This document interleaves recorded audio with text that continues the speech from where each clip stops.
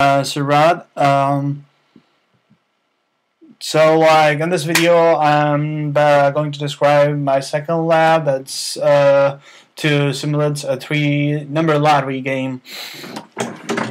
So like this is my fourth video today like I'm doing this fourth time and I couldn't do it in less than five minutes I'm trying to do as fast as I can so uh, hopefully it'll be good. So uh, the first thing that uh, it will print is it will say this thing. This program simulates a three-number lottery game, and this is all scanner thing over here. Uh, this will make sure that till here. Okay. Till here, it will make sure that upper bound and lower bound are positive. Otherwise, it will just automatically terminate the program. From here, yeah, uh, it will ask ask the user to enter the lower bound for the lottery game and it will make sure that the lower bound is negative uh, sorry positive and if it's not then it will automatically it'll it'll give this this message and automatically terminate the program. And if this this loop works if and only if lower bound is less than one otherwise it will move on to next one. So uh, this is the same thing for upper bound this loop.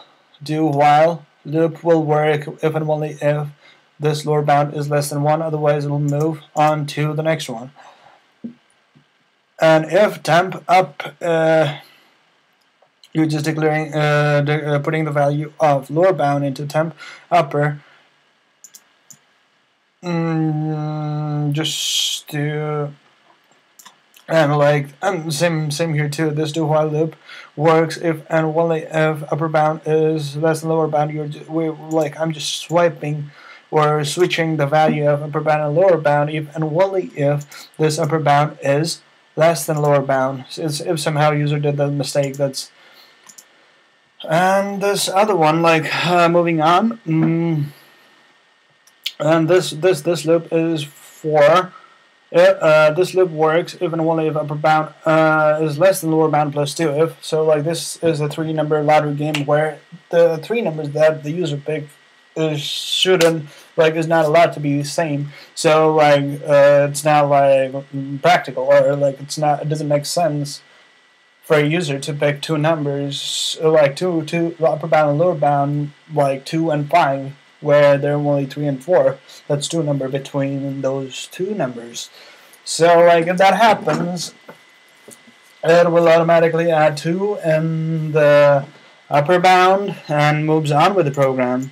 So from here to here, it it it is just like creating or like uh, generating three different numbers, three different three numbers, three different numbers for the lottery game.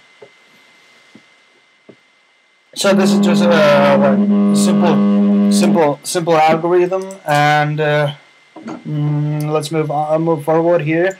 Uh, this is making sure that the this part is making sure that there is no duplicate, uh, like no same number twice, and there it's it's also making sure that it's it's inside the range. Mm, and it'll uh, like it it's a uh, it will print a message saying print a number print uh print a number between lower bound and upper bound for lottery pegs. And uh, if if, if, if, if it is error it will show this two messages if it is um, outside of range it will show this. If it is if the user input two same number or two same number then it will print this one. Repeated numbers so this will work even only if these two conditions are true. So moving on, this is now showing the results. Range of your lottery from, it will show the range and uh, next it will show the lottery number that the computer generated and the third one it will show is the number that the user picked and it will show if like it will show how many were correct. If three of them were correct, you win ten thousand dollars. And uh, this another one is if one of them is correct or two of them is correct or three of them is correct it will just yeah I declared there's no matches as zero zero mm, let's see something weird happened here okay mm, this no matches at zero. So like if this is true, it will add one here, and if this is true, it will add again and one here. If not true, it will just move on to the next one, and whatever is the last number, it will put this. This will like if it is two, they win two thousand. If it is one, they win one thousand. If it is three, they win three thousand.